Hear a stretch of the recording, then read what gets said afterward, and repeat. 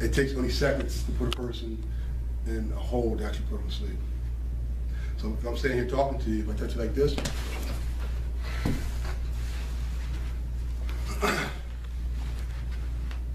how long is that?